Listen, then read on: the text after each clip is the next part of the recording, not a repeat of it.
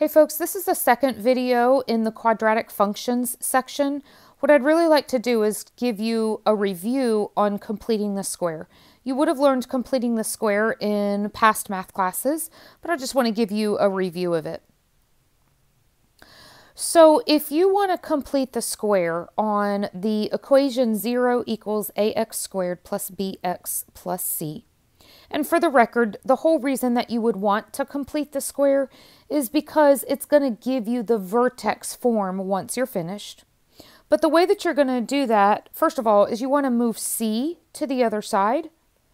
And you then want to divide on both sides by your A. So get C over to the other side, divide both sides by A.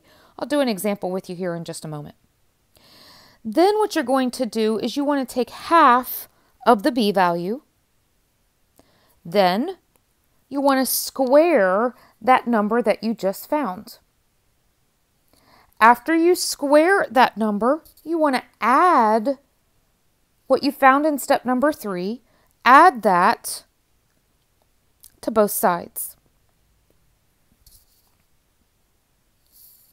Then, after you add to both sides, you want to factor your trinomial. Factor your trinomial. After you've factored your trinomial, combine your constants. Now let's go back and do an example by following each of these steps. Notice that I have an example at the top of the screen. 3x squared minus 12x minus 7 is equal to 0. So the first thing that we're going to do is we're going to move c to the other side. So my 7 gets moved to the other side by, by addition. And then what we're going to do is we're going to take that equation and divide on both sides by our a. So we're getting rid of that a. After we've done that, let's go ahead and simplify. So you want to make sure here that you divide the first term by your 3 and the second term by your 3. So that's going to give you x squared minus 4x is equal to that 7 thirds. Now, after you've done this, take half of your b value. Your b value right now is that negative 4. So you want to take half of your b value. Take half of negative 4. And when you take half of negative 4, you know that you're going to get a negative 2. Now take that number and square it. So negative 2, if you square that, you're going to get a positive 4. Step number 4, add what you found to both sides.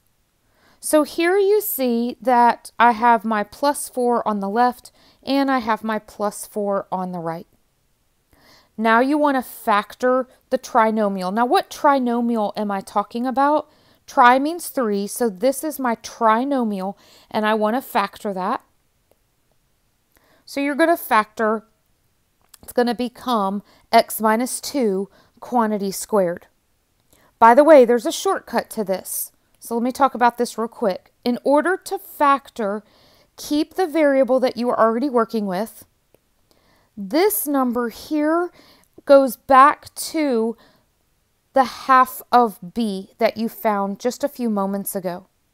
So whatever you got for your half of b is going to be inside of your factor. And it's going to be x with that number squared. And then the last step that you want to do is you want to combine your constants. So you need to combine your 7 thirds and your 4.